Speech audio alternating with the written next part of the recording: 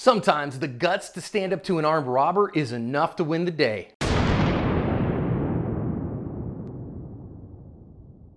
Hey everybody, welcome to today's lesson here at Active Self-Protection. I'm your host, John Correia. This one, I don't have any geographic information on, so if you do, put it in a comment so I can add it to the description, would you please? Ammo is crazy expensive and hard to find, and dry fire is life. I use the Mantis X10 to keep my handgun skills strong, and it makes dry practice fun and challenging. Check it out at the link below.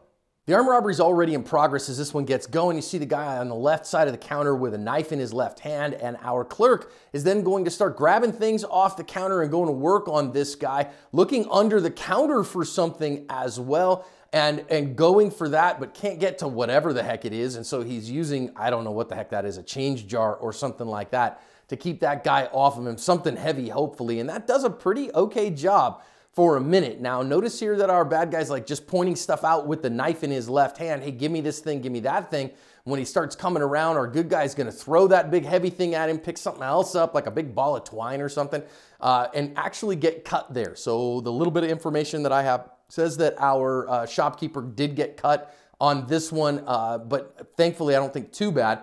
Now he's gonna grab the chair and the chair is gonna do a better job. Dude's gonna decide he's had enough and run off and that's where this one ends. Good stuff. If you want to work on your skill set, not just your mindset like we do here at Active Self Protection, join us on our second channel, Active Self Protection Extra. There's a link in the description. I teach skill set there along with a couple of really highly trusted trainers seven days a week. Join us, would you? As this one begins, our first lesson, bad guys using that knife as an intimidation tool. You would give me what I want or I will end up cutting you with this. Now, I would strongly prefer that our clerk have a purpose-built force multiplier, but we are gonna see here that the counter is gonna help him a little bit. But the fact of the matter is he doesn't have a purpose-built force multiplier, that's really gonna hurt him.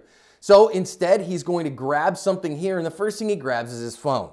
Now, I will tell you this, the phone is not gonna help you. You're gonna have to win that fight by yourself. Nobody is coming to save you. You may as well be writing in your diary trying to call somebody on the phone and have them come and get you. It's just basically, Dear Diary, I'm in the middle of an armed robbery and this is what's happening because nobody is coming to save you.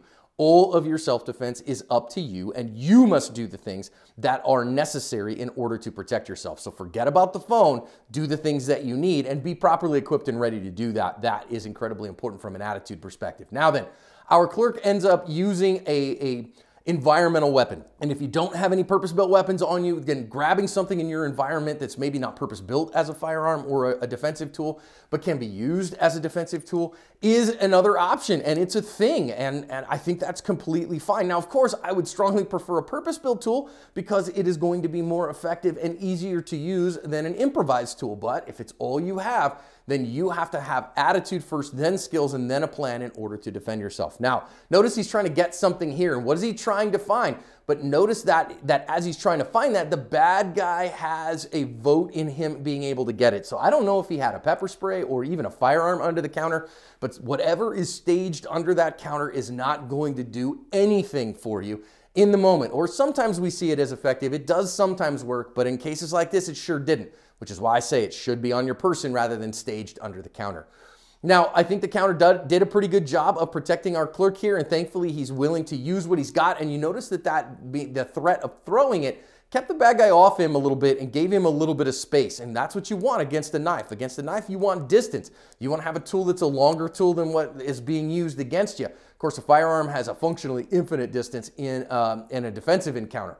But in this case, uh, you know, the, the knife is uh, a short range tool, but eventually the bad guy is going to overcome those limitations. And that's exactly what happened here. He puts it over the counter and sticks it in the clerk. Now, uh, thankfully, because of the distances involved, it wasn't a bad cut. It was a small cut. But of course, we want no cuts.